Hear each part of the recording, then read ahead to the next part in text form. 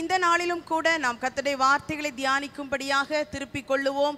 ரெண்டு சாமுவேல் ஆறாவது அதிகாரம்.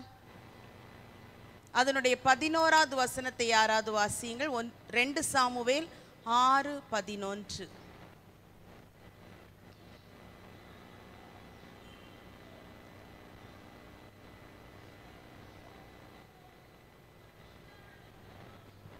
ஆமேன். கர்த்தருடைய பெட்டி கித்தியனாகிய ஓபேத் ஏதோமின் வீட்டில் மூன்று மாதம் இருக்கையில் கத்தர் ஓபேத் ஏதோமையும் அவன் வீட்டார் அனைவரையும் ஆசீர்வதித்தார். இந்த கத்தருடைய பெட்டி என்று சொல்லும்போது தேவனாகிய கத்தர் தம்முடைய ஜனமாகிய இஸ்ரவேலுக்கு அந்த எகிப்திலிருந்து இஸ் கானான் தேசத்துக்கு கொண்டு வருகிற அந்த யாத்திரையிலே அவர் கொடுத்த ஒரு அருமையான காரியம். அந்த ஆசரிப்பு கூடாரம் ஒன் என்று ஒன்றை ஏற்படுத்த சொல்லி அதன் அநேக பனிமுட்டுகள் உண்டு. அதில் ஒன்றுதான் இந்த கர்த்தருடைய பெட்டி உடன்படிக்கை பெட்டி என்பது. இந்த உடன்படிக்கை பெட்டி அப்படி செய்யப்பட்டது. இதை குறித்து நாம் நம்முடைய பைபிள் ஸ்டடியில் மிக விவரமாக கேட்டிருக்கிறோம். இப்படி வனாந்தரத்திலே உண்டாக்கப்பட்டு ஜன இஸ்ரவேல் அந்த கோ ஜனங்களோடு கூட லேவியரால் சுமக்கப்பட்டு கொண்டு வரப்பட்டது. அது ஏலியின் காலத்தில் சீலோவிலே கூடாரத்துக்குள்ளாக அந்த கத்துடைய பெட்டி வைக்கப்பட்டிருந்தது. அப்போது ஒரு சமயம் பெலிஸ்தருக்கும் இஸ்ரவேலருக்கும் யுத்தம் ஏற்பட்டது. அந்த யுத்தத்தில் இஸ்ரவேலர் தோல்வியுற்று மிக கடினமான சூழ்நிலையை சந்தித்து கொண்டிருக்கும் போது கத்தருடைய பெட்டியை கொண்டு வாருங்கள் என்று சொல்லி அனுப்பினார்கள் சீலோவுக்கு. எபனேசரிலே யுத்தம் நடந்து கொண்டிருந்தது. உடனே அங்கிருந்து ஏலியுடைய பிள்ளைகள் ரெண்டு பேர் கொண்டு வர்றாங்க. அந்த பெட்டியோடு கூட வர்ற வருகிறார்கள். அந்த பெட்டி வந்த உடனே பாளையத்தில் மிகப்பெரிய ஒரு வெற்றி கழிப்பு போல இஸ்ரேல் ஜனங்கள் கொண்டாடுகிறார்கள். பெலிஸ்தியருக்கு பயங்கரமான கலக்கம். இதென்ன பு- புதிதாக இருக்கிறது? எப்படியும் மகிழ்ச்சியும் கலக்கமும் இருந்தாலும் தேவனை விட்டு தூரம் போன தம்முடைய ஜனமாகிய இஸ்ரவேல் அந்த யுத்தத்திலே படிதோ படு தோல்வியுற்றார்கள் அநேக மரணங்கள். பயங்கரமான சூழ்நிலை. எல்லாவற்றுக்கும் மேலாக மகுடமாக கத்தருடைய பெட்டியாகி அந்த உடன்படிக்கை பெட்டி பிடிக்கப்பட்டது. அது சத்துருக்களால் பெலிஸ்தீருடைய தேசத்துக்கு கொண்டு போகப்பட்டது. இந்த பெலிஸ்தர் அதை அங்கே கொண்டு போய் தங்களுடைய தெய்வமாகிய தாகோனுடைய கோவிலிலே கொண்டு வைத்தார்கள். அந்த தோ தாகோனுடைய கோயிலில் அந்த தெய்வம் அந்த உடன் தெய்வத்துக்கு முன்பாக உடன்படிக்கை பெட்டியை கொண்டு வைத்துவிட்டு மறுநாள் காலையில் வந்து பார்க்கும்போது தாகோன் தலைகீழாக முகம் குப்புற கீழே விழுந்து கிடந்தது பெட்டிக்கு முன்பாக. உடனே இவங்க எல்லாம் அதை ரொம்ப சாதாரணமாக நினைத்து கொண்டு மறுபடி பெட்டியை எல்லாம் க இந்த அந்த அந்த தெய்வத்தை தாகோனை தூக்கி நிறுத்தி வைத்துவிட்டு தாகோன் என்றால் அது ஒரு விக்கிரகம். அதை தூக்கி நிறுத்தி வைத்துவிட்டு இவர்கள் போய்விட்டார்கள். அடுத்த நாள் காலையில் ரெண்டாவது நாள் வந்து பார்க்கும்போது அது விழுந்தது மட்டுமல்ல தலை அதனுடைய கைகளெல்லாம் உடைந்து வாசலிலே கிடந்தது. இவர்களுக்கு பார்த்த உடனே ரொம்ப கஷ்டமாக இருக்கும். உடனே அந்த பெட்டியை என்ன பண்ணாங்க? கத்துடைய பெட்டியை இதை எடுத்துட்டு இது ரொம்ப பயங்கரமானது இதை எடுத்துட்டு ஊர் ஊராக சுற்றணும் அப்படின்னு ஒவ்வொரு இடமா சுற்ற ஆரம்பிக்கிறாங்க. அஸ்தோத்தூரில் போகிறாங்க அந்த அஸ்தோத்தூரில் பயங்கரமான மூல வியாதி பயங்கரமாக வருது. அடுத்து காத்தூர். அந்த ஊர்லேயும் மூல வியாதி அதிகமாகிக்கொண்டே இருக்கிறது. சாவு அதிகமாகிக்கொண்டே இருக்குது. அவங்க பெலிஸ்தர் நினச்சிட்டாங்க இதை வந்து இப்படி தான் திருப்திப்படுத்த முடியும். அதை என்ன பண்ணணும்? இப்போதெல்லாம் பார்க்கிறோமே பலதை சுமந்து கொண்டு ஊர் ஊராக தெரு தெருவாக ரோடு ரோடாக போகிற மாதிரி அப்படி நினைத்து கொண்டார்கள். இந்த கத்தருடைய பெட்டி இப்படி சுமந்தால் நமக்கு எல்லாம் சரியாயிரும். சரியாகவில்லை. வர வர வர சாவு மிக மும்முரமாக இருக்குது. சாகாதவர்கள் மூல வியாதியினால் கஷ்டப்படுகிறார்கள். எக்ரோன் என்கிற பட்டணத்துக்கு வரும்போது அந்த ஜனங்கள்லாம் பயந்து அலறாங்க. இங்கெல்லாமோ சாவு நடக்குது. இந்த கத்தருடைய பெட்டியை எங்ககிட்ட கொண்டு வந்து இங்கேயும் சாவு வர வைக்க போறீங்களா? அப்படின்னு சொல்லி அவங்க பயந்து கதறாங்க. இப்படி ஏழு மாதம் அளவும் கத்தருடைய பெட்டி பெலிஸ்தருடைய தேசத்திலே அப்படியே அங்கும் இங்கும் அங்கும் இங்குமாக கொண்டு செல்லப்பட்டு கொண்டு இருக்கிறது இப்படி ஒரு சூழ்நிலையில் அவர்களுக்குள்ளே எல்லாம் பேசி முடித்து சரி இதை மறுபடி அனுப்பி விடுவோம் இது அப்படி அனுப்புனாதான் நமக்கு இந்த பிரச்சனையெல்லாம் தீரும். வியாதிகள் இந்த மரணம் எல்லாம் சரியாகும் நிற்கும் என்று சொல்லி தீர்மானம் பண்ணி சில காணிக்கை பொருட்களையும் செய்து அந்த பெட்டியை கறவை பசுக்களை பூட்டின வண்டியில் வச்சு அனுப்பி விடுறாங்க. அப்போ அது நேராக கரெக்டாக அவங்க இடத்துக்கு போயிடுச்சுன்னா நம்ம பிரச்சனைக்கெல்லாம் காரணம் எதுதான்? இந்த உடன்படிக்கை பெட்டி தான். அப்போ இனி பிரச்சனை இருக்காது. இல்லை அது அங்கே போகாட்டி இது வேற ஏதோ நமக்கு இந்த கொள்ளை நோய் இந்த பிரச்சனை வந்திருக்குது அப்படின்னு அவர்களுக்குள்ளாக ஒரு காரியத்தை திட்டம் பண்ணி கொண்டார்கள். ஆனால் அவர்கள் சொன்னது போல் அந்த பெட்டி அப்படி நேர பெட்சிமேஸ் என்கிற இடத்துக்கு போச்சு. அங்கே போனோன்னே அங்கே வயலில் வேலை செய்து கொண்டிருந்தவர்கள பார்த்தோன்னே அவங்களுக்கு ரொம்ப சந்தோஷம். கத்தோடைய பெட்டி திரும்ப வருது. உடனே லேவியர் அதை இறக்கி வைக்கிறாங்க. அங்கே ஒரு கல்லின் மேலே இறக்கி வைத்து அது அப்படி இருக்கும்போது அந்த பெட்டிக்குள்ளாக அந்த பெட்சிமேஸின் மனுஷர் உள்ளே பார்க்குறாங்க அந்த பெட்டியை திறந்து. நமக்கு நல்லா தெரியும் கத்தோடைய உடன்படிக்கை பெட்டியை அந்த லேவியர் தவிர யாரும் தொடக்கூடாது அந்த பெட்டிக்குள்ளே பார்க்கக்கூடாது. அதன் மேல் ஒரு மூடி இருக்கும் அது கிருபாசனம். அதற்கு மேல் கத்தோடைய மகிமை இருக்கும். அப்போ அதில் எந்த மனுஷருக்கும் அங்கே வேலையே கிடையாது.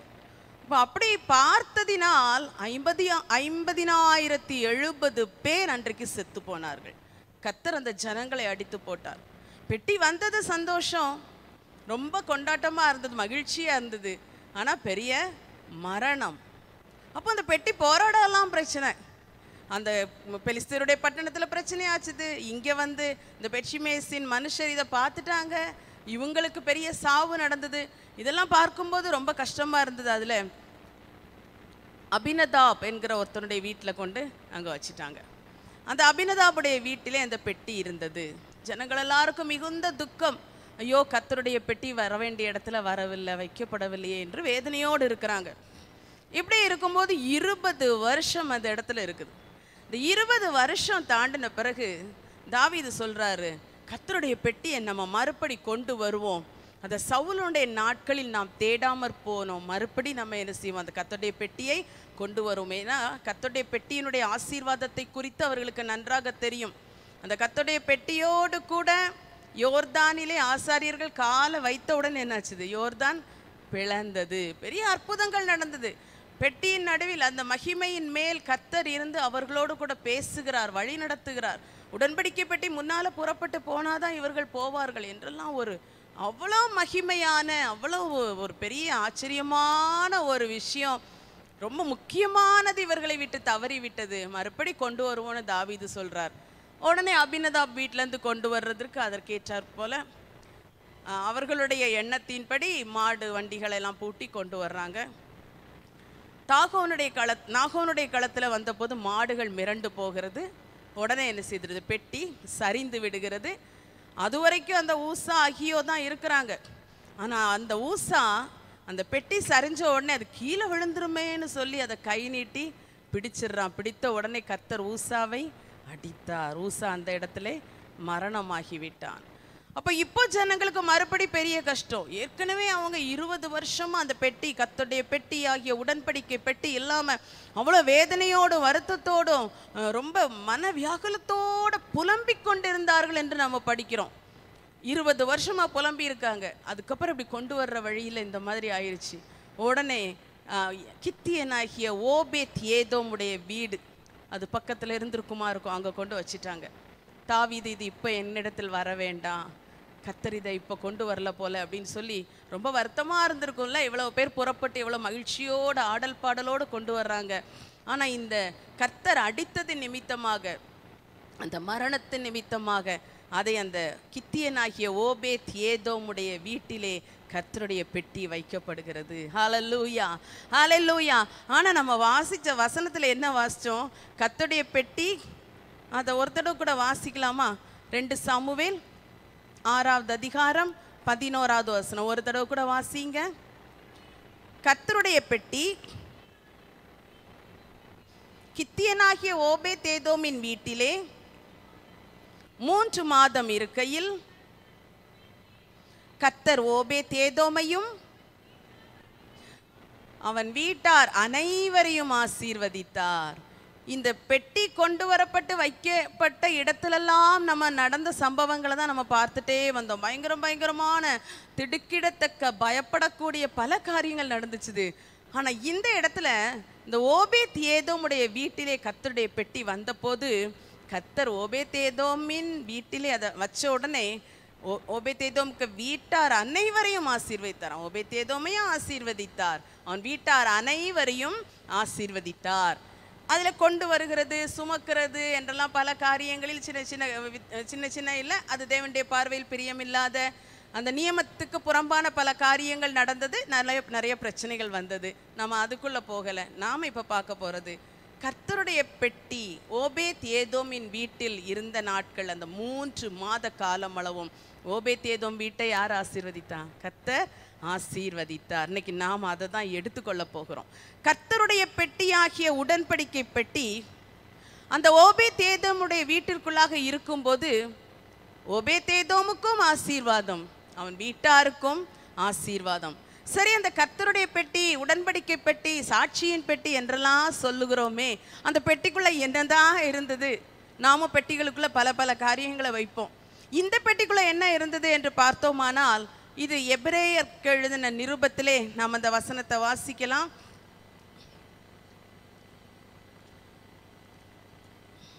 எபிரேயருக்கு எழுதின நிருபம் ஒன்பதாவது அதிகாரம் நான்காவது வசனத்திலே அது இருக்கிறது. அந்த பெட்டியிலே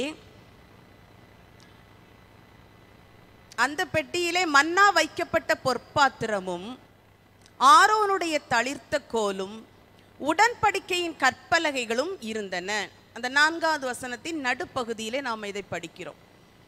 அந்த உடன்படிக்கை பெட்டியிலே மன்னா வைக்கப்பட்ட பொற்பாத்திரம் இருந்தது.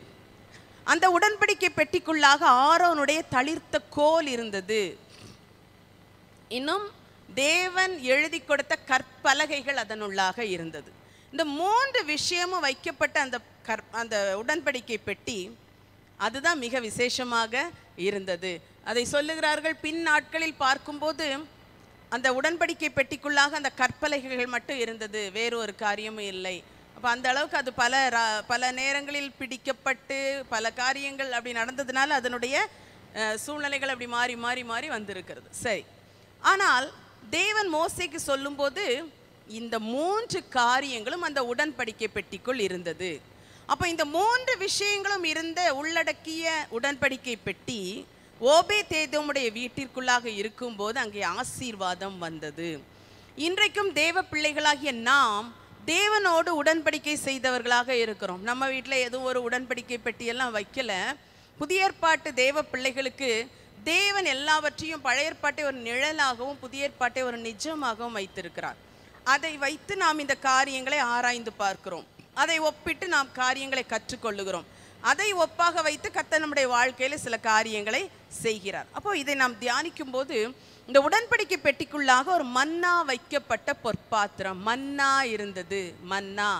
மன்னா என்று சொன்னால் நமக்கு தெரியும் இஸ்ரவேல் ஜனங்கள் வனாந்தரத்தில் நடந்து வரும்போது அவர்களுக்கு தேவன் என்ன கொடுத்தார்? மன்னாவை கொடுத்தார். அந்த மன்னா தூதர்களின் அப்பமாக இருந்தது. தூதர்களின் அப்பமாகிய மன்னாவை புசிக்க கொடுத்தார் என்று சங்கீதத்தில் நம்ம படிக்கிறோம். அந்த மன்னாவை தேவன் தம் ஜனத்துக்கு வானத்திலிருந்து கொடுத்தார். அவங்களுக்கு எந்த வேலையும் செய்ய வேண்டியதில்லை.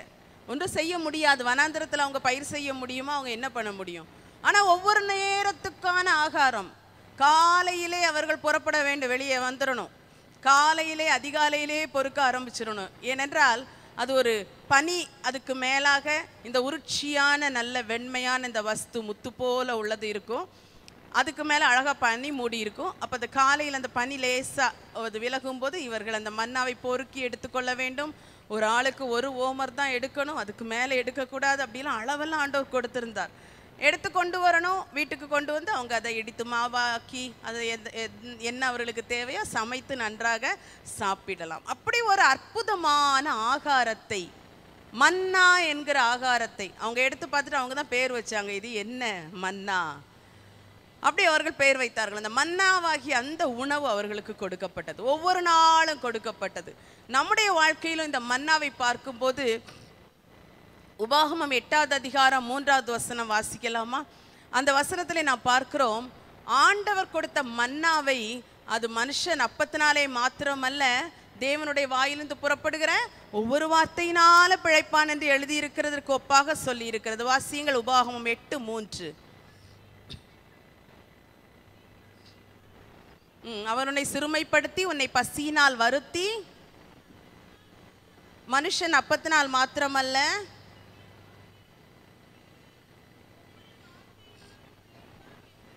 கர்த்தருடைய வார்த்தையிலிருந்து புறப்படுகிற ஒவ்வொரு வார்த்தையினாலும் பிழைப்பான். அப்போ எதற்காக வானத்தின் மன்னாவை கொடுத்தேன் என்று சொல்லுகிறார்? சும்மா நீ வ- சமைச்சு சாப்பிடுற நீ உண்டாக்குகிற அந்த அப்பத்தினால் மட்டுமல்ல தேவனுடைய வாயிலிருந்து புறப்படுகிற ஒவ்வொரு வார்த்தையினால பிழைப்பான்னு நீ அறிந்து கொள்ளணும். அதுக்காக தான் ஓ பிரயாசம் இல்லாமே நான் உனக்கு ஒரு அப்பத்தை கொடுத்தேன் என்று சொல்லுகிறார். அதே போல நாம் வாசிக்கிறோம் இயேசு கிறிஸ்து சொல்றார் பிசாசு வந்து சோதித்து கல்லுகளை அப்பமாக்கும் என்று சொன்ன உடனே மத்தையும் நான்கு நான்குல இயேசு என்ன சொல்லுகிறார் மனுஷன் அப்பத்தினாலே மாத்திரமல்ல தேவனுடைய வாயிலிருந்து புறப்படுகிற ஒவ்வொரு வார்த்தையினாலும் பிழைப்பான் ஒவ்வொரு வார்த்தையினாலும் பிழைப்பான். அப்போ ஆகாரம் புசிக்கும் போதெல்லாம் நம்ம யோசிக்கணும் நான் இந்த இந்த சோறு சாப்பிட்றேன் இல்லை தோசை சாப்பிட்றேன் இட்லி சாப்பிட்றேன் எது சாப்பிடுகிறோமோ சாப்பிடும் போதெல்லாம் நினைக்கணும். இந்த அப்பத்தினாலே மாத்திரமல்ல என் தேவனுடைய வாயிலிருந்து புறப்படுகிற ஒவ்வொரு வார்த்தையினாலும் நான் பிழைப்பேன். ஹலலூயா ஹலலூயா இன்னைக்கெல்லாம் நம்ம எவ்வளவுதான் ஆகாரம் சாப்பிட்டு சரீரத்துக்கு ஏற்றதாக பலனுக்கு ஏதுவாக சத்துள்ளதாக என்றெல்லாம் பிரித்து பிரித்து சாப்பிட்டாலும் நாம் கடந்த காலங்களைப் போல இந்த காலத்தில் அதனுடைய பலன்களை அவ்வளவு முழுமையாக பெற்றுக்கொள்ள முடியவில்லை. அதுவும் ஒரு பக்கம். மட்டுமல்ல நமக்கு நல்லா தெரியும் என்னுடைய வாழ்க்கை இந்த உலகத்தோடு முடிந்து போவதில்லை. சும்மா எனக்கு ஒரு சரீரம் மட்டும் இல்லை. என் சரீரத்துக்கு உள்ளாக ஒரு உண்மையான மனுஷன் இருக்கிறான். எனக்குள்ளாக ஒரு ஆத்மா இருக்கிறது ஒரு ஆத்மீக வாழ்வு எனக்கு இருக்கிறது. எனவே இந்த சாப்பாடு மட்டும் எனக்கு போதாது. ஆண்டோடைய வாயின் ஒவ்வொரு வார்த்தையினாலும் நான் பிழைக்க வேண்டும். ஹலலூயா ஹலலூயா அந்த வாட்சியோடு கூட தேவன் அருளிய வார்த்தைகளை புசிக்க வேண்டும். என்ன வார்த்தைகள் அருளி இருக்கிறார்? நம்முடைய கரத்தில் ஒரு அழகான வேதாகமத்தை தேவன் தந்திருக்கிறார். எல்லாரும் வேதாகமத்தை உயர்த்தி ஆண்டவரை மகிமைப்படுத்துவோமா? ஹாலல்லூயா ஹாலல்லூயா ஹாலல்லூயா பெண்கள் ஆராதனையில எல்லார் கையிலையும் பைபிள் இருக்குது. ரொம்ப சந்தோஷம். ஆமா இந்த நாட்கள்லாம் பார்த்தீங்கன்னா வேதாகமத்தை சுமப்பதற்கு பதிலாக ஒரு மொபைல் ஒரு டேப் எதையோ சுமந்து கொண்டு திரிகிறார்கள். ஏன்னா அப்படி நாம இருக்கக்கூடாது. கர்த்தர் ஒரு அழகான வேத புஸ்தகத்தை தந்திருக்கிறார். இந்த தேசத்தில் வேத புத்தகத்தை வாசிக்க நமக்கு எடுத்து செல்ல ஒரு தடையும் இல்லை. ஒருவேளை யார் யாரோ கேலி கிண்டல் பண்ணலாம். ஆனால் வேறு எந்த தடையும் இல்லையே. ஒவ்வொரு ஒவ்வொரு இடங்களில் சில தேசங்களிலே கத்தோடைய வசனம் உட்புக முடியாத ஒரு சூழ்நிலைகளெல்லாம் இருக்கிற இடத்துல தான் அவர்கள் இந்த மாதிரி இதுகளில் இருந்து லேப்டாப்போ மொபைலோ எதுலேயோ இருந்து வேதாகமத்தை படித்துக் கொள்வார்கள் நமக்கு அப்படியெல்லாம் நிர்பந்தம் இல்லையே. கத்தடை வேதத்தை நன்றாக சுமக்கலாம். ஹாலல்லூயா எப்போதும் சுமக்க வேண்டும்? வெட்கப்படவே கூடாது. இவ்வளோ வெயிட்டாக இருக்கேன்னு வருத்தப்படவும் கூடாது. ஒரு விசை ஒரு தேவ ஊழியர் அயல்நாட்டுக்கு சென்றிருந்தாராம். அங்கே போயிருக்கும்போது கத்தடை வார்த்தைகளெல்லாம் கொடுத்து சந்தோஷமாக இங்கேருந்து புறப்படும்போது அவருக்கு அங்குள்ளவர்கள் அநேக வெகுமதிகளை கொடுத்து விட்டார்களாம். அப்போ எல்லாம் வைத்து பேக் பண்ணும்போது அவருக்கு பைபிள் வைக்கிறதுக்கு இடம் இல்லையா? அவர் கொண்டு போன பைபிளை கொண்டு வர்றதுக்கு. உடனே அவர் என்ன பண்ணார்? சரி இது யாராச்சும் வரும்போது நீங்கள் கொடுத்து விட்டுருங்கன்ட்டு வந்துட்டார் இந்த கத்துடைய ஊழியர். பாருங்க அந்த ஊழி அந்த வேதாகமும் திருப்பி இன்னொருத்தர் மூலமாக கொண்டு வரப்பட்டு அவருக்கு கொடுக்கப்பட்டது. அப்போ கத்துடைய வேதத்தை வைக்க இடமில்லை என்று சொல்லுகிற நிலைமை நம் மனதிற்குள் வரவே கூடாது. மனசுல இடம் இல்லாட்டா தான் எங்க இடம் இல்லை? நம்மகிட்ட இடம் இல்லை. மனதில் இடம் இருந்ததானால் முதல்ல அதை தான் நம்ம வைப்போம். சரிதானே? அன்பான தேவ பிள்ளைகளை எந்த காரியத்திலையும் அப்படிதான். ஒரு ஒரு யாத்திரை போகிறீர்களா? இல்லை ஒரு ஊரில் போய் ஒரு விருந்து வீட்டுக்கு ரெண்டு மூணு நாள் இருக்க போகிறீங்களா? வஸ்திரங்களெல்லாம் எடுத்து வைக்கிறோம். வஸ்திரத்துக்கு மேட்சாக என்னெல்லாம் உண்டு? தலை சீவிர சீப்பு வரைக்கும் ப்ரஷ் என்னெல்லாம் உண்டோ எல்லாம் எடுத்து வைக்கிறோமே. கத்துடைய வேதத்தை எடுத்து வைக்கிறோமா? வேதாகமத்தை பேக்கில் வைக்கிறோமா? இதெல்லவா முக்கியம்? நமக்கு ரொம்ப கட்டாயமாக ரீட் அண்ட் ப்ரே ஷெடியூலர் வேதாகமாக கட்டாயம் எடுத்துக்கொண்டு போக வேண்டும். ஏன்னா அனுதின வேத வாசிப்பு என்றே ஒன்று செய்கிறோம். ஜெபித்து அதனுடைய நேரங்களை குறிப்பிடுகிறோம். அதனால இந்த ரெண்டையும் மிஸ் பண்ணவே கூடாது எடுத்துக்கொண்டு போகணும். ஹலலூயா ஹலலூயா இதெல்லாம் என்ன அப்படின்னா இது ஒரு சம்பிரதாயமோ ஒரு சடங்காச்சாரமோ கிடையாது. கத்தரை முக்கியப்படுத்துகிறோம். கத்தருக்கு முதலிடம் கொடுக்கிறோம் என்பது இதிலிருந்து நமக்கு புரிகிறது. சரியா? அன்பான தேவ பிள்ளைகளே இந்த காரியத்தை மனதில் வைத்து கொள்ள வேண்டும். அப்போ தேவனுடைய வாயிலிருந்து புறப்படுகிற ஒவ்வொரு வார்த்தையினாலும் பிழைப்பு நமக்கு இருக்கிறது. அப்போ பிழைக்க வேண்டுமானால் இந்த வசனத்தை அதிகமாக வாசிக்கணும் அதிகமாக வாசிக்கணும். ஹalleluya வசனம் வாசிக்கிறது என்பது அது ஒரு இனிமையானதாக இது எனக்கு ரொம்ப தேவை என்ற ஒரு நிலை வேணும். அதுதான் பேதுருவில் சொல்லி இருக்கிறது குழந்தை களங்கமில்லாத ஞானப்பாலின் மேல் வாஞ்சியாக இருக்கணுமா? குழந்தையை போல. ஞானப்பால் எது? வேத வசனம். ஒரு குழந்தை எப்படி பாலை வேகமாக வாஞ்சியாய் பருகுகிறதோ அது அதைவிட மிக வாஞ்சியாக வசனத்தை பருக வேண்டும் என்று நம்ம படிக்கிறோம். அப்படி வாஞ்சியாய் பருக வேண்டும். அந்த வாஞ்சியாய் பருகிற அனுபவம் தான் வரிசையாக வாசித்து கொண்டே போகிறது. இப்போ எல்லாம் எத்தனை பேர் எத்தனை நேரம் முடித்திருக்கீங்கன்னு தெரில ஒரு ஒரு மாதம் பொறுத்து இருக்கும்போது பரிசு கொடுக்கும்போது பார்க்கலாம். எவ்வளோ தடவை முடித்து பரிசு வாங்குகிறீர்கள் என்பதை அதற்காக ஆவலோடு காத்து கொண்டு இருக்கிறோம் ஒருவேளை இன்னும் நேரம் இருக்குது சோர்ந்து விட்டுறாதீங்க. நான் வந்து அஞ்சு தடவை முடிச்சிடலாம்னு நினச்சேன் நாலு தான் முடித்திருக்கிறேன். இன்னும் ஒரு தடவை முடி வாசிக்கணுமே முடிச்சிருவேனா முடிக்க மாட்டேனா? அப்படிலாம் பார்க்காதீங்க. முடிக்கிறீங்களோ முடிக்கலையோ? அதே ஸ்பீடில் வேணா அதை விட வேகமாக வாசித்து கொண்டே இருங்கள்.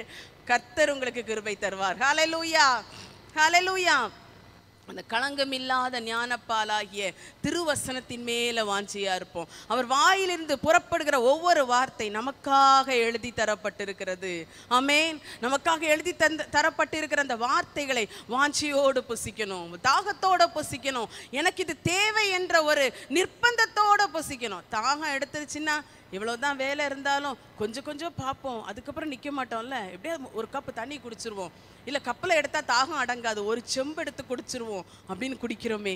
கத்துடைய வேதம் அதை விட மிக அவசியமானது நம் வாழ்க்கைக்கு. என்னுடைய வாழ்க்கையில் ஒரு ஒரு சமயத்தில் மிகுந்த பலவீனமாக இருக்கும்போது அப்படி கஷ்டமாக இருக்கும். அப்படியே சாஞ்சி உட்கார்ந்துருந்துட்டு வசனம் படித்துக்கொண்டே இருக்கும்போது எனக்கு ஒரு திடீர்னு ஒரு ஞாபகம். எழும்பி எதுக்கோ போகணும் அப்படின்னோன்னு நான் நினைக்கிறேன். ஆண்டவரே நான் ட்ரிப்பு போட்டுட்டு இருக்கேன். எனக்கு பலன் வர்றதுக்காக. எனக்கு ட்ரிப்பு இறங்கிக்கிட்டே இருக்குது. இதை நான் பாதியில் விட்டுட்டு போகக்கூடாது ஆண்டவரே. எனக்கு அந்த ட்ரிப்பு முடிஞ்சு முடியும் போது எனக்கு பலன் வந்துடும் அப்படி தானே சொல்லுவோம். ரொம்ப டயர்டாக இருக்குன்னு சொல்லுவாங்க. ஒரு ட்ரிப் போட்டு வந்துடலாம் அப்போ கொஞ்சம் பலன் வரும். இல்லை குளுக்கோஸ் ஏற்றுறதும்பாங்க சிலர். அது மாதிரி என் மனசில் வந்தது நான் ட்ரிப்பு போட்டுட்டு இருக்கேன் ஆண்டவரே எனக்கு நல்ல பலன் வந்துடணும் நான் முடிச்சிட்டு இதுலேருந்து எழும்பணும் அப்படின்னு. உண்மையாகவே முடித்து பலனோடு எழும்ப கத்தர் உதவி செய்தார். ஹalleluya அப்போ எவ்வளவுதான் நமக்கு உலக பிரகாரமாக பல வாய்ப்புகள் பல காரியங்களை யோசித்தாலும் இந்த வேதம் தருகிறது போன்ற போஷாக்கும் பலனும் எங்கேயுமே கிடைக்காது. ஹலல்லூயா நான் மட்டும் இல்லை உங்களில் சிலர் இதற்கு சாட்சிகளாக இருப்பீர்கள். ஆமென் ஹலல்லூயா அப்போ தேவனுடைய வார்த்தை தேவனுடைய வாயிலிருந்து புறப்படுகிற வார்த்தை. இது எப்படி நீங்கள் கேட்டீங்கன்னா எந்த அளவுக்கு நம்ம இதை விசுவாசிக்கிறோமோ டாக்டர் ஒரு மருந்து கொடுத்தா அது எப்படி எடுத்துகிட்டு போகிறோம் வீட்டுக்கு போகும்போது? எப்பா ரெண்டு நாளாக பார்த்து பார்த்து இருந்தேன் எனக்கு தீரவே இல்லை. எப்படியோ இன்றைக்கி வந்து மருந்து வாங்கிட்டேன். இனி எனக்கு கொஞ்சம் நல்லா ஆயிரும் ஆ இனி மூணு நாள் தாண்டி எனக்கு ஒரு யாத்திரை இருக்குது அதுக்கு எனக்கு சரீரம் கரெக்ட் ஆயிரும். இதை நான் ரெண்டு நாள் எடுக்கும்போது கொஞ்சம் நல்லா பலன் வந்துடும் என்ன பெரிய விசுவாசம் உள்ளத்தில் வருது இல்லையா? பெரிய ஒரு நம்பிக்கை என்று நம்ம சொல்லுவோம். அப்போ அந்த மருந்தின் மேலே ஒரு விசுவாசம் வருது.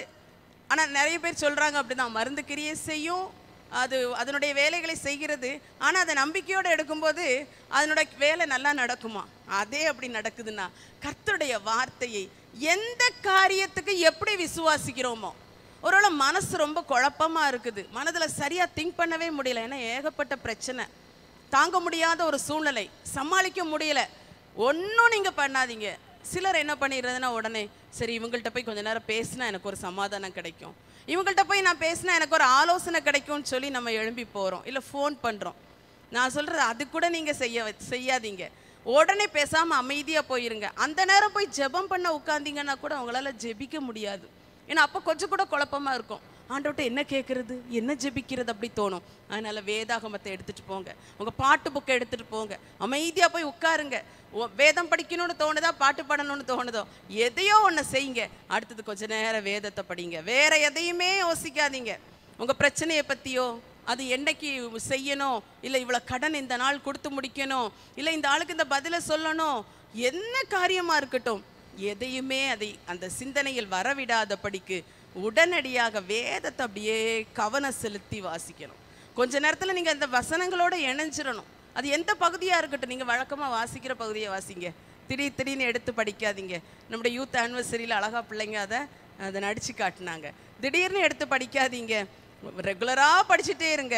அதற்குள்ளாக தேவன் உங்களுக்கு ஏற்ற போஷாக்கை வைத்திருக்கிறார். உங்களுக்கான ரெமெடி அங்கே இருக்குது. மருந்து அங்கே இருக்குது. ஔஷதம் அங்கே இருக்குது. பிசின் தைலம் அங்கே இருக்குது.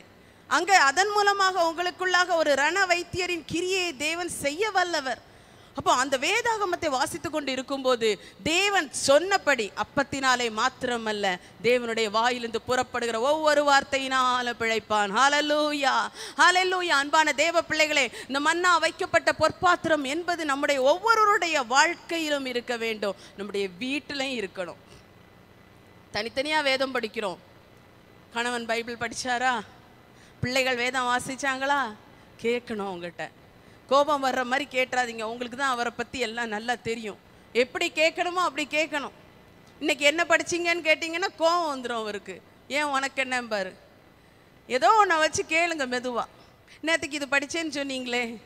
உங்களுக்கு சந்தேகமாக இருக்கும். இவர் இன்னைக்கு பைபிள் படிச்சாரா இல்லையா? வேலைக்கு புறப்பட்டாச்சே. புறப்பட்டாச்சேன்னு மனசில் இருக்கும். இப்படி மெதுவாக கேட்டு பார்க்கலாம். இன்னைக்கு இந்த பகுதி படிச்சிருந்தீங்க இல்லையா? இன்னைக்கு அடுத்தது படி இன்னைக்கு என்ன இன்னைக்கு அடுத்ததுல என்ன படிச்சீங்க? ஏதோ ஒரு சின்ன கேள்வி. பிள்ளைகள்கிட்ட அது மாதிரி கேட்கலாம். எல்லாம் வெளியே கிளம்புற நேரம் கேட்காதீங்க. கொஞ்சம் முன்னாடியே கேட்டிங்கன்னா தான் எடுத்து வாசிக்கிறதுக்காவது நேரம் இருக்கும். பல வீடுகளில் இது நடக்குது. அவங்க சொந்த காரியங்களெல்லாம் நன்றாக நடக்கும். ஆனால் இந்த மன்னாவை புசிக்க அநேகர் மறந்து போகிறார்கள். பிள்ளைகள் ஒழுங்காக காலையில் பிரேக்ஃபாஸ்ட்டும் சாப்பிட்றதில்ல. சரீர உணவும் சாப்பிட்றதில்ல. அநேக பிள்ளைகள் ஆவிக்குரிய மன்னாவையும் இந்த வசனத்தையும் கூட புசிப்பது இல்லை. அன்பான தேவ பிள்ளைகளே அன்பான தாய்மாரே பாட்டிமாரே நீங்கள் உங்கள் வீட்டில் இருக்கிற குழந்தைகளிடத்தில் பெரியவர்களிடத்தில் இந்த காரியத்தை குறித்து கரிசனை உள்ளவர்களாக இருக்க வேண்டும். நாம் முதல்ல ஜாக்கிரதையாக கரெக்டாக கரெக்டாக இருக்கணும். நம் பிள்ளைகள் நம் வீட்டாருக்கும் அதை கொடுக்கணும். மட்டுமல்ல ஒரு குடும்ப ஜெபம் என்று நாம் ஒன்று செய்கிறோம் அல்லவா?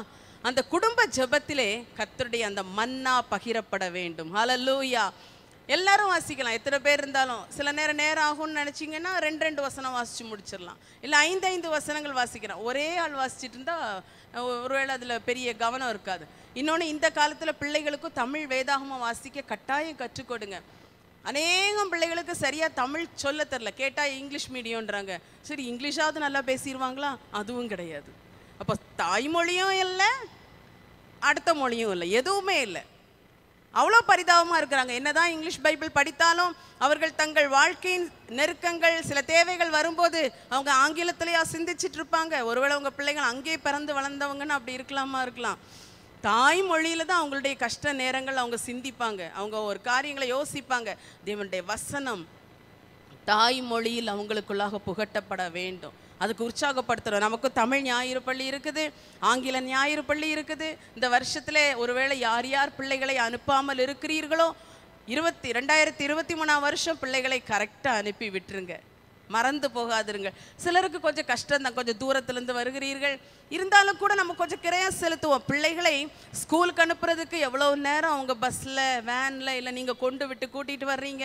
அடுத்து ஒரு டியூஷனுக்கு அனுப்புறீங்க. அது இன்னும் எவ்வளோ தூரத்தில் இருக்குது கொண்டு விடுறீங்க? இல்லை என்றால் அவர்களை அனுப்பி விடுறீங்க அதிகாலை ஐந்தரை மணிக்கு எழுப்பிவிட்டு ஓடு ஓடு டியூஷன் கோடுன்னு அனுப்புறீங்க. வாரத்தில் ஒரே ஒரு நாள் கத்தருடைய நாள். அந்த கத்தருடைய நாளை கத்தருக்காகவே கத்தருடைய சமூகத்திலே செலவு செய்ய நம்முடைய சபையில் எத்தனையோ வாய்ப்புகள் இருக்கிறது. காலையில் பரிசுத்த ஆராதனை முடித்தவுடனே சண்டே ஸ்கூல் இருக்குது. அடுத்து யூத்துக்கு தனியாக டீன்ஸ்க்கு தனியாக இனி ஃப்ளையர்ஸ் என்று தனியாக இருக்குது.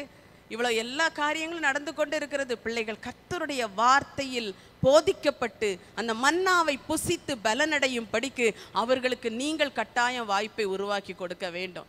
அடுத்த வருஷம் என் பிள்ளைக்கு ரொம்ப படிப்பு. அதனால மெதுவாக இதை நான் விட்டுறேன்னு யாராவது நினச்சிருக்கீங்களா? உங்க எண்ணத்தெல்லாம் மாற்றிக்கோங்க பரவாயில்ல கத்தருக்கு முதலிடம் கொடுக்கும் போது நிச்சயமாய் அனைத்து காரியங்களிலும் மேன்மையை தருவார். ஒரு காலத்தில் ஆண்டோடைய காரியத்தில் ரொம்ப உறுதியாக அவங்களுடைய தங்களுடைய சின்ன வயதிலே வாலிப வயதிலே நல்ல கத்தருடைய காரியத்தில் கவனம் செலுத்தி கத்தருக்காக வளர்ந்து வந்த பெற்றோர் கூட இப்போ பிள்ளைகளை பார்க்கும்போது என்ன சொல்கிறாங்க நம்ம காலத்தில் படிப்பெல்லாம் அவ்வளவு இல்லை. ஆனால் இப்போ ரொம்ப பயங்கரமாக இருக்குது. அதனால இதில் ரொம்ப கவனம் செலுத்த வேண்டியது இருக்குது படிப்பில் அப்படின்னு அவங்க மனசே மாறுது. நான் ஒன்று கேட்குறேன் அன்னைக்கு கொஞ்சம் படிப்போம் நிறைய படிப்போம். நாம் எவ்வளவு கர்த்தருக்கா உண்மையுள்ளவர்களாக இந்த மன்னாவை எவ்வளோ உத்தமமாய் புசித்து எவ்வளவு அருமையாய் பெற்று சேர்த்து வைத்து எவ்வளோ பாக்கியமுள்ளவர்களாக வளர்ந்து இன்னைக்கு நம்ம ஜீவனோடும் சுகத்தோடும் ஆண்டவருக்குள்ள நன்றாக வாழ்ந்து கொண்டு இருக்கிறோமே அப்போ நம்ம பிள்ளைகள் இப்படி ஒரு சாட்சி நாம் இருக்கும்போது நம்ம பிள்ளைகளை இன்னொரு பக்கமாக டைவெர்ட் பண்ணி விடலாமா நாம்? நாம் அப்படி நினைக்கலாமா? நினைத்ததே தவறு. அன்பான தாய்மார்களை நீங்கள் யாராவது அப்படி நினைத்திருந்தீங்கன்னா தயவுசெய்து மாற்றிக்கொள்ளுங்கள். ஒவ்வொரு வருஷமும் புதிய புதிய புத்தகம் வாங்கி கொடுக்குறோம். புதுசாக நோட் புக் வாங்கி கொடுக்குறோம். பேக் வாங்கி கொடுக்குறோம். யூனிஃபார்ம் வாங்கி கொடுக்குறோம்.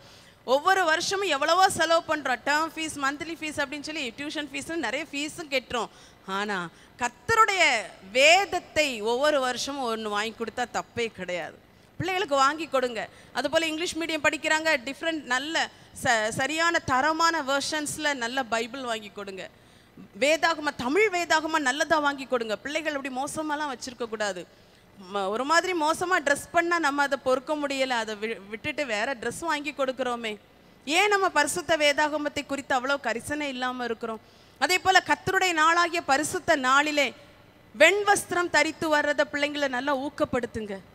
நாம் தரித்து வருகிறோம் நம் பிள்ளைகள் சிலர் வெண்வஸ்திரம் தரித்து வருகிறதில்ல. அநேக பிள்ளைகள் நீட்டாக வர்றாங்க. யூத்தும் சரி டீன்ஸும் சரி பிள்ளைகளும் அப்படி வருகிறார்கள். ஆனால் ஒரு சிலருக்கு அந்த அனுபவங்கள் இல்லாமல் இருக்கிறது. நிச்சயமாக அதை தாய்மார் பெற்றோர் அதை பழக்கணும். அது மாதிரி சில பிள்ளைங்க சொல்லுவாங்க அது என்றைக்கும் நாங்கள் அதை ஒரே ஒரு வெள்ளை ட்ரெஸ்ஸை தான் நான் போட்டுட்டு வந்துட்டே இருக்கேன். எனக்கு கஷ்டமாக இருக்குது பாருங்க ஒரு யூனிஃபார்ம்னா கூட ரெண்டு ட்ரெஸ்ஸாவது வச்சுருப்போம். குறைந்தது. ஒரு டெய்லி போடுறதுனா மூணாவது வைத்தா தான் சமாளிக்க முடியுது. ச அப்புறம் உலக பிரகாரமாக ஒரு கல்யாண வீட்டுக்கு போகணுமா வேற ஏதாவது விசேஷங்களுக்கு போக வேண்டுமா? அதற்கு தனித்தனியாக நல்ல ட்ரெஸ் வச்சுக்கிறோம். வீட்டில் இருக்கிறதுக்கு வீட்டில் போடுற அதுக்கேற்ற மாதிரி சிம்பிளாக உள்ள ட்ரெஸ்கள் வீட்டுக்கு போடுறதுக்கு வச்சுக்கிறோம்.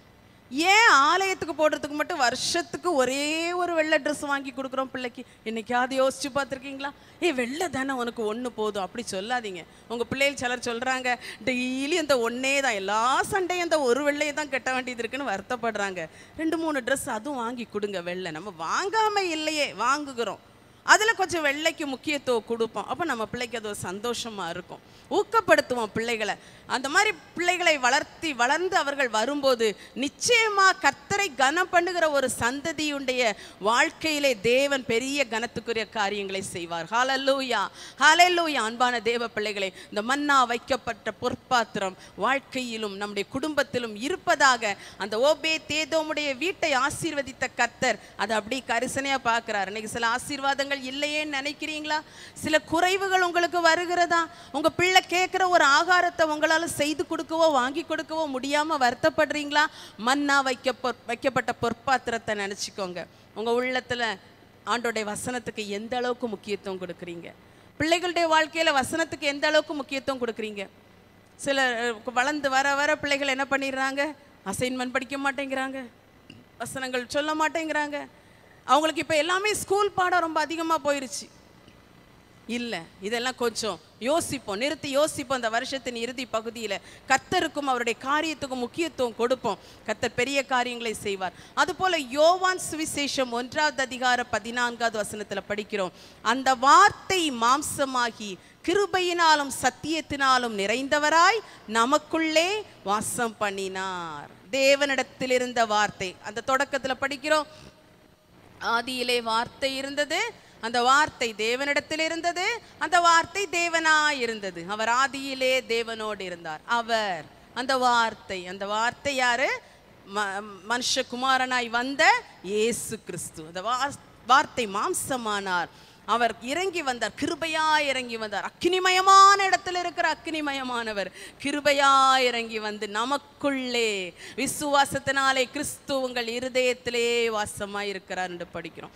அப்படி வாசமாக இருக்கும்படி வந்த இயேசுவை நாம் ஒருபோது விட்டு விடக்கூடாது ஒருபோது விட்டு விடக்கூடாது நம்ம சொல்லுவோம் நான் எங்கே இயேசுவை விட்டேன்? நான் என்னைக்கு ரட்சிக்கப்பட்டேனோ அன்றைய அன்றிலிருந்து இயேசுவோடு தான் நடக்கிறேன். ஆனால் நம்ம யோசிச்சு பார்க்கணும் வாழ்க்கையிலே எந்தெந்த காரியத்துக்கு ஆண்டோடைய வசனத்தை ஆண்டவருடைய சித்தத்தை ஒ- சித்தத்துக்கு ஒப்பு கொடுக்காம ஆண்டோடைய இஷ்டத்தின்படி நடக்காம இருக்கிறோமோ அங்கெல்லாம் இயேசுவை புறந்தள்ளுகிறோம்.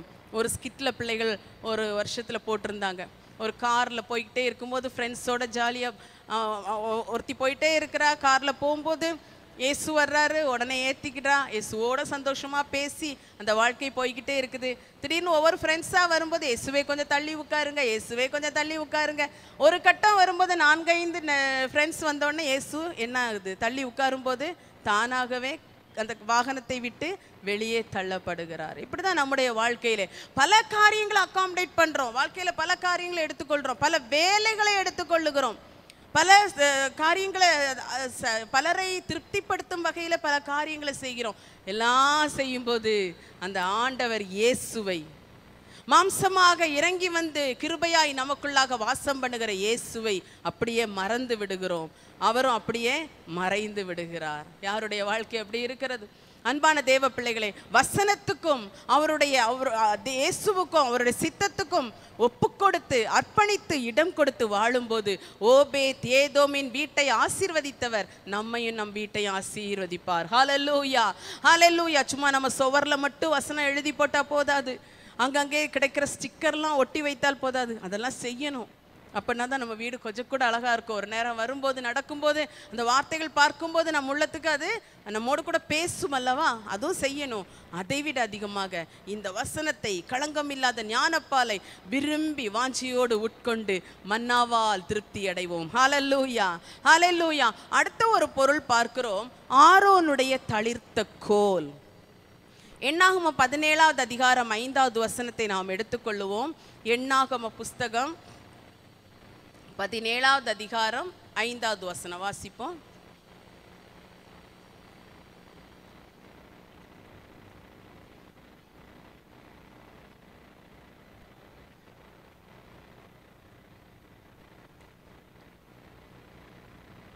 முறுமுறுப்பை ஒழிய பண்ணுகிறதற்காக கோலை கொண்டு வர சொல்லுகிறார். அந்த கோலை ஆண்டோடைய சமூகத்தில் வைக்கும்போது எந்த கோல் துளிர்க்குமோ அந்த கோல் தான் தேவனால் தெரிந்து கொள்ளப்பட்டவனுடைய கோல். நான் தெரிந்து கொள்ளுகிறவனுடைய கோல் துளிர்க்கும். இப்போ தேவனால் தெரிந்து கொள்ளப்பட்ட ஒரு அனுபவம். கத்தரோட உடன்படிக்கை பண்ணி இருக்கிறோம் அவரோட உடன்படிக்கை நம்மோடு இருக்கிறது. நம்மை தெரிந்து கொண்டவர் நம்மோடு இருக்கிறார். அவர் நம்மை தெரிந்து கொண்டு இருக்கிறார் நம்மை தெரிந்து கொண்ட அந்த நோக்கத்தை நாம் சரியாக அதில் நிறைவேற்ற வேண்டும். அழைக்கப்பட்ட அழைப்பு. தெரிந்து கொள்ளப்படுதல். இது ரொம்ப முக்கியமானது. எவ்வளவோ கோடிக்கணக்கான பேர் இந்த உலகத்தில் இருக்கும்போது ஏதோ ஒரு பங்கை தான் தேவன் தமக்கென்று தெரிந்து கொண்டிருக்கிறார். ஹாலல்லூயா ஹாலல்லூயா நம்மை அவர் தெரிந்து கொண்டிருக்கிறார் அல்லவா? அந்த கோல் எப்படி துளிர்த்ததோ அதுதான் அடையாளம். துளிர்த்த கோல். வாழ்க்கையில நாம் வியாதியினால் மாண்டு போக இருந்தோம். பல பல பாரங்கள் பல பிரச்சனைகள் பல சூழ்நிலைகள் பிசாசின் வல்லடிகளுக்கு இலக்காக வைக்கப்பட்டு அழிந்து போக இருந்த நம்மை அவர் தெரிந்து கொண்டபடியினால் நம் வாழ்க்கை துளிர்விட செய்தார். ஹாலல்லூயா ஹாலல்லூயா அவருடைய பரிசு தாவியை தந்தார். நமக்குள்ளாய் மகிழ்ச்சியை கொடுத்தார்.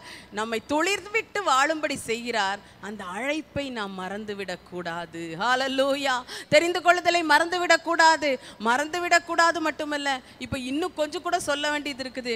ஐயோ நான் எதுக்கு தான் இதில் வந்து சேர்ந்தேனோ என்றெல்லாம் சிலருடைய எண்ணம் வந்து விடுகிறது. சில குறைகள் சில தாழ்ச்சிகள் நடக்க சில காரியங்கள் நடக்கவில்லை கிடைக்கவில்லை என்று வந்தவுடனே எனக்கு ஒன்றும் கிடைக்கவில்லை. இயேசுவினிடத்தில் போய் எனக்கு பிரயோஜனம் இல்லை என்று சொல்லி விடுகிறார்கள். இல்லை இயேசு இடத்துல பிரயோஜனம் இருக்குதோ இல்லையோ? நிச்சயமாக பிரயோஜனம் உண்டு. ஆனால் நான் ஒரு வார்த்தைக்கு சொல்கிறேன் இல்லையோ அவரை நாம் நிச்சயமாக பின்பற்றி ஆக வேண்டும். ஏனென்றால் இந்த உலகத்தில் பாவிகளாகிய இருந்த நாம் நம்முடைய மரணத்துக்கு பிற்பாடு நரகத்துக்கு போக வேண்டியவர்கள். பாவத்தின் சம்பளம் மரணம். சரீர மரணம் மட்டுமல்ல ஆத்மீக மரணம் மட்டுமல்ல ரெண்டாம் மரணமாகி அக்னி கடலுக்கு போக வேண்டியவர்கள். யாரு? பாவம் செய்த நாம். ஆனால் ஒரு நாளிலே இயேசு நம்மை தேடி வந்து தம்முடைய இரத்தத்தினால் நம்முடைய பாவங்களை கழுவி நம்மை சுத்திகரித்து அவருடைய ரட்சிப்பின் சந்தோஷத்தை தந்து இனி பாவம் இல்லாமல் பாவம் செய்யாமல் ஜெயமாய் வாழ தம் பரிசுத்த ஆவியை தந்து தன்னோடு உடன்படிக்கை செய்கிற ஞானஸ்நானத்தின் மூலம் நம்மை அவரோடு கூட ஒப்புரவாக்கி இவ்விதமாய் பிதாவினிடத்துல சேர்கிற ஸ்லாக்கியத்தை உண்டு பண்ணி வச்சிட்டாரு. இனி நாம என்ன செய்ய மாட்டோம்? அக்கினி கடலுக்கு ஒரு நாளும் போக போகிறதில்லை. இயேசுவையே பின்பற்றி இயேசுவின் வார்த்தைகளின்படியே நடந்து இயேசுவுக்காகவே வாழ்ந்து கொண்டிருக்கும் போது ஒரு நாளிலே இயேசு நம்மை அவரோடு கூட அழைத்து செல்லுவார். நம்மிடத்தில் பிசாசுக்கு எந்த பங்கும் கிடையாது. ஆலல்லூயா அப்போ இந்த ஒரு நன்மைக்காகவாவது இறுதி வரை இயேசுவுக்காக வாழ வேண்டும். ஹாலல்லூயா சொல்லணும் தைரியமா அப்பா எனக்கு என்ன தர்றீங்களோ இல்லையோ ஏற்கனவே எனக்கு தந்துட்டீங்க. நான் வாங்கிக்கிட்டேன். இனி நான் இதை பத்திரமா வச்சுக்கிடுவேன். ஹலலூயா இனி நான் விட்டுறவே மாட்டேன். ஏன்னா இது கிடைக்காத ஒரு விஷயம். எவ்வளவோ பேர் விரும்பியும் பாவத்திலிருந்து விடுதலை பெற முடியவில்லையே. எத்தனை ஒண்ணாம் தேதிகள் எத்தனையோ பேர் தீர்மானம் எடுக்கிறத நீங்க கேட்டிருப்பீங்க. விடுதலை பெற முடியவில்லையே. எவ்வளோ பேர் வாஞ்சித்து இந்த அனுபவத்துக்குள்ள வர முடியவில்லையே. என்ன கொண்டு வந்துட்டீங்களப்பா? என்ன என்னை ரட்சித்துட்டீங்களப்பா? எனக்கு அபிஷேகத்தை தந்துட்டீங்களே ஒவ்வொரு கூட்டங்களில் வரும்போது நீங்கள் பார்ப்பீங்க அபிஷேகத்துக்காக முன்னால் வர்றவங்க சிலர் பல வருஷமாக முன்னால் வந்து கொண்டிருக்கதை பார்ப்பீங்க ஆண்டவருக்கு நன்றி சொல்லணும். என்னை அபிஷேகிச்சிட்டிங்களப்பா. உங்கள் வல்லமை எனக்கு தந்துட்டீங்களே. என்னை முத்திரை போட்டுட்டீங்க. அதனால் இனி நான் உங்களை விடவே மாட்டேன். எனக்கு என்ன தர்றீங்களோ இல்லையோ எப்படி நடத்துகிறீங்களோ என்னை கொண்டு நீங்கள் அங்கே சேர்க்கறத விட உங்களை நான் நல்லா பற்றி பிடித்து கொள்ளுவேன். ஹாலல்லூயா ஹாலல்லூயா இப்படி ஒரு உறுதியுள்ள பிள்ளைக்கு ஆண்டவர் தேவையானதை கொடுக்காம இருப்பாரா?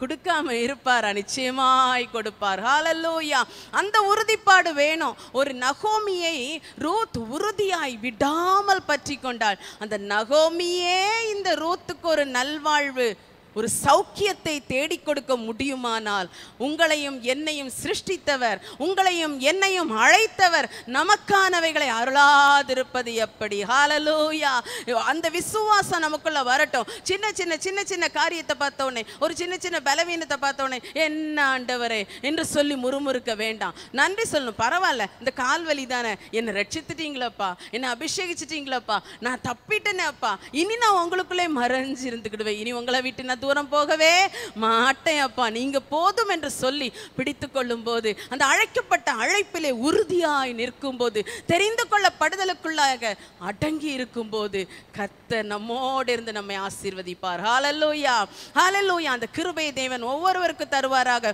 எபேசியர் நான்கு ஒன்றுல நம்ம படிக்கிறோம். அழைக்கப்பட்ட அழைப்புக்கு பாத்திரமாய் நடந்து கொள்ள வேண்டும் என்று. ஹாலல்லூயா அழைப்புக்கு பாத்திரமாய் நடந்து கொண்டிருக்கிற தேவ பிள்ளைகளே நீங்க அதனால தான் ஆண்டோடைய சமூகத்துக்கு நாம் வர முடிகிறது. ஆண்டவருக்காக வாழ்ந்து கொண்டு இருக்கிறோம் பல பல சூழ்நிலைகள் கடந்த கடந்து போன காலங்களை காட்டிலும் இந்த நாட்களிலே பரிசுத்தவான்களாகிய தேவ பிள்ளைகளுக்கு உபத்திரவம் மிக அதிகமாக இருக்கிறது. முன்பெல்லாம் சில கஷ்டங்கள் பிரச்சனைகள் வியாதிகள் சில போராட்டங்கள் வரும்போது எளிதாக சொல்லிடுவாங்க வாழ்க்கையில் அந்த தப்பு இருந்தது இது இருந்தது இது இருக்கு அது இருக்கு இந்த பிரச்சனை அதனால தான் இது வந்ததுன்னு. ஆனால் இப்போ பார்த்தா அநேகருடைய வாழ்க்கையிலே யோபுவுக்கு வந்தது போல இல்லையென்றால் அந்த உபத்திரவ காலம் என்று சொல்லுகிற ஒரு அனுபவம் பலருடைய வாழ்க்கையில் இருந்து கொண்டே இருக்கிறது. இது நம்மளை ஒரு டெஸ்ட் பண்றதுக்காக தான். எப்படி அழைக்கப்பட்ட அழைப்பில் நிற்கிறோமா துளிர்த்த கோல் துளிர்த்த கோலா நம்முடைய வாழ்க்கையில இருக்கிறதா? என்பதை சோதிக்கும்படி பல சூழ்நிலைகள் வரலாம். அழைப்பை விட்டு பின்மாறி போகாதிருங்கள். அழைப்பு என்பது ஊழியத்துக்கான அழைப்பு மட்டுமல்ல அதிலையும் நாம் நிலைநிற்க வேண்டும். அது மட்டுமல்ல இந்த அடிப்படையான அழைப்பு கிறிஸ்துவுக்குள்ளாக அவர் ரத்தத்தினால் மீட்கப்பட்ட அவரோடு வாழும்படி பலியினால் என்னோட கூட உடன்படிக்கை செய்த என் பரிசுத்தவான்களை கூட்டுங்கள் என்று ஒரு நாள் சொல்லுவாராமே. அதற்காக நம்மோடு அந்த பலியினால் உடன்படிக்கை செய்தாரே. அந்த உடன்படிக்கையின் அழைப்பு இதை விட்டு வெளியே போகவே கூடாது. ஹாலல்லூயா அதுக்கு தான் ஒவ்வொரு நாளும் ரட்சிப்பின் அனுபவத்தை நினைத்த ஆண்டவருக்கு நன்றி சொல்லணும். என்னை ரட்சித்தீங்களப்பா? அந்த சந்தோஷத்தை கொஞ்சம் அவர்கிட்ட ஸ்தோத்திரம் பண்ணி நன்றி செலுத்தணும். இல்லைன்னா அந்த பாவத்தில் நான் எவ்வளவு அடிமையாக கிடந்திருப்பேன். எனக்கு விடுதலையே இல்லாமல் இருந்ததே அப்பா. என்னை ரட்சித்தீரே அப்பா. அபிஷேகித்தீரே அப்பா. இந்த அந்நிய பாஷை அந்த வாயில் எனக்கு தந்தீங்களே ஆண்டவரே. இப்படியெல்லாம் சொல்லி நன்றி செலுத்தும் போது அழைப்பில் உறுதியாய் நிற்க முடியும். ஹாலல்லூயா மூன்றாவது ஒரு பொருள் உள்ள இருக்குது. உடன்படிக்கையின் கற்பலகை. உடன்படிக்கையின் கற்பலகை. அந்த கற்பலகையில் சில காரியங்களை எழுதி கொடுத்துருக்கிறார். நீ இதை செய்தால் நான் இதை செய்வேன். நீ இதெல்லாம் என்- என்னுடைய விருப்பப்படி என்னுடைய ஆசைப்படி என்னுடைய கட்டளைப்படி நீ நடக்கணும்னு சொல்லி ஆண்டவர் எழுதி கொடுத்துருக்கிறார். இதை குறித்து ரெண்டு யோவான் ஒன்று பதினாறில் ஒரு சுருக்கமான காரியம் இருக்கிறது. அவர் கற்பனைகளின்படி நடப்பதே. வாசிக்கலாமா?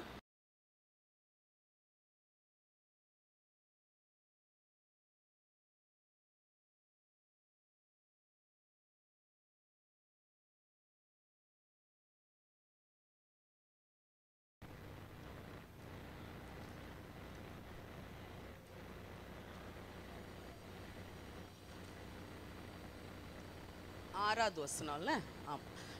ரெண்டு யோவான் ஆறாவது வசனம். நாம் அவருடைய கற்பனைகளின்படி நடப்பதே அன்பு. நீங்கள் ஆதி முதல் கேட்டிருக்கிறபடி நடந்து கொள்ள வேண்டிய கற்பனை இதுவே. எல்லா கற்பனையின் ஒரு சாராம்சம் அன்பு. அந்த அன்பு எப்படி? தேவனிடத்தில் அன்பு கூற வேண்டும். தேவனுடைய அன்பினால் நம்மோடு இருக்கிற சக மனிதர்களிடத்திலும் அன்பு கூற வேண்டும். எந்த ஒரு காரியத்துக்கும். சமாதானமா இருக்கிறதற்கா கீழ்ப்படிவதற்கா மன்னிப்பதற்கா எதற்கு எடுத்துக்கொண்டாலும் அன்பு என்ற ஒரு அடிப்படையான கற்பனையை கைக்கொண்டு விட்டோம் என்றால் நிறைவேற்றி விட்டோம் என்றால் எல்லா காரியத்திலையும் ஜெயத்தோட வாழ முடியும். ஆண்டோடைய வசனம் அதுதான். இதுல யோவான் ரொம்ப சுருக்கமா எழுதி விட்டார் அன்பு அன்பு. அந்த அன்பு தான் நீங்க கே- நீங்க கேட்டிருக்கிறபடி இந்த அன்பிலே தான் நீங்கள் நடந்து கொள்ள வேண்டும். இதுதான் அந்த கற்பனையாக இருக்கிறது. அன்பான தேவ பிள்ளைகளே தேவனிடத்தில் அன்பாய் இருப்பதும் நம்மோடு இருக்கிறவர்களிடத்துல அன்போடு சமாதானத்தோடு நடந்து கொள்வதும் மிக ஒரு முக்கியமான கற்பனையாக இருக்கிறது. கற்பனையின் ஒரு கடைத்தொகை ஒரு கூட்டுத்தொகை என்று சொல்லலாம்.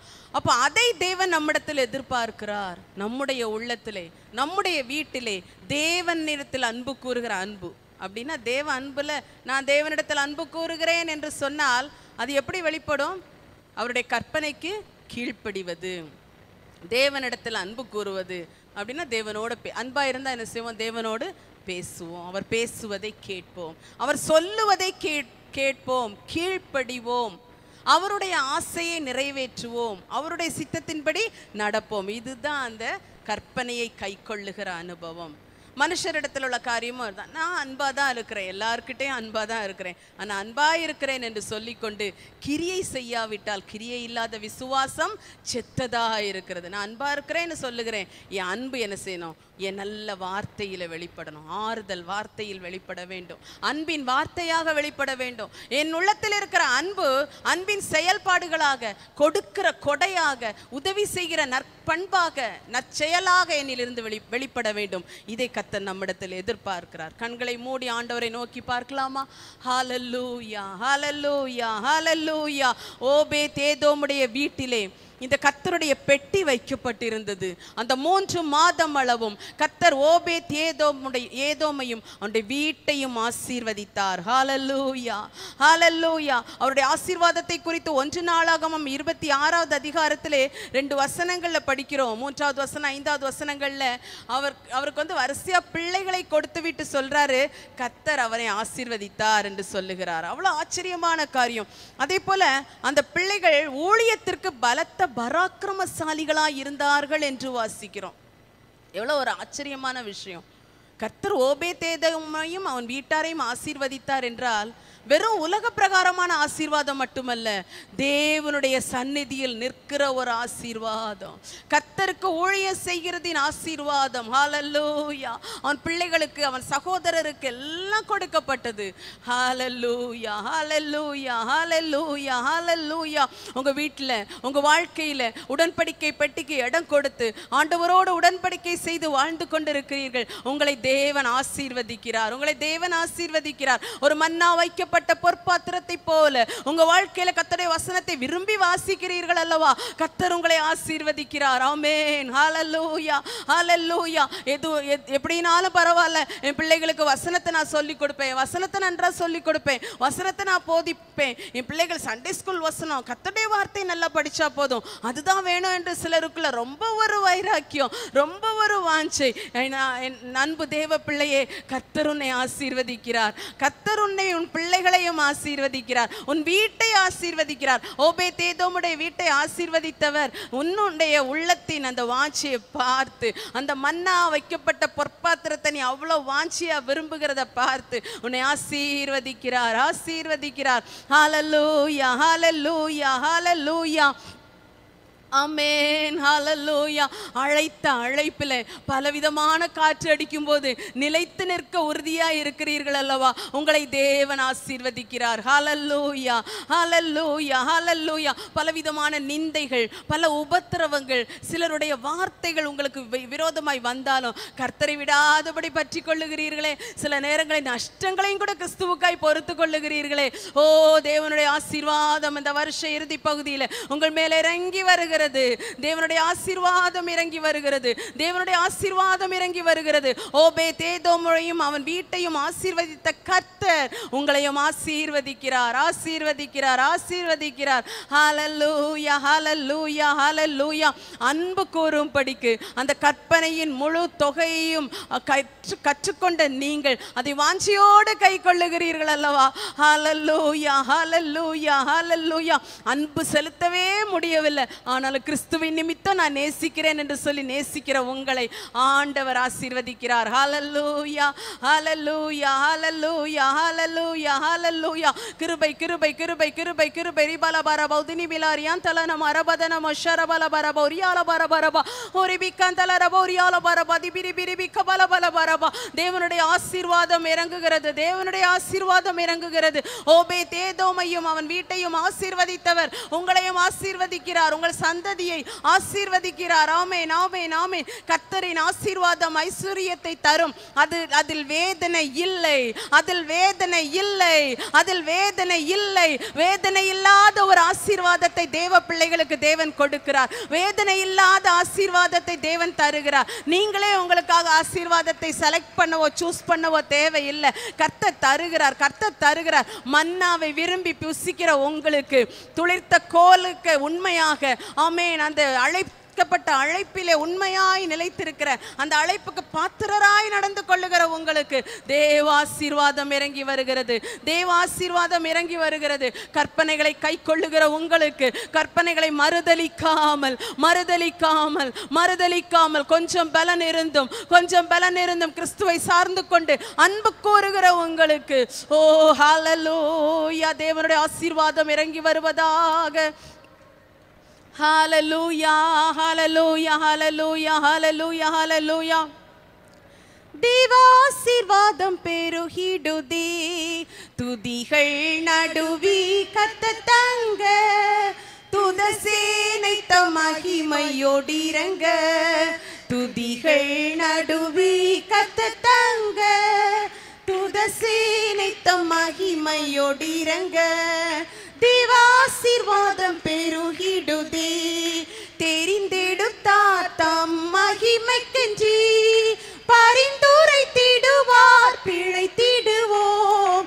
தெரிந்தெடுத்தார் தம் மகிமைக்கென்றி. பிழை திடுவோம் ரட்சிப்பினால் அலங்கரித்த ரட்சக திருவடி சேர்த்திடுவார். ரட்சிப்பினால் அலங்கரித்தார். ரட்சக திருவடி சேர்த்திடுவார். தேவாசீர்வாதம் பெருகிடுதே. துதிகள் நடுவில் கத்த தங்க. துதசீனை தம் மகிமையோடிரங்க துதிகள் நடுவில் கத்த தங்க. துதசீனை தம் இறங்க. தேவாசிர்வாதம் பெருகிடுதே. எங்கள் பரிசுத்தமுள்ள நல்ல தகப்பனே இந்த பகல் வேளைக்காக உமக்கு ஸ்தோத்திரம் அப்பா.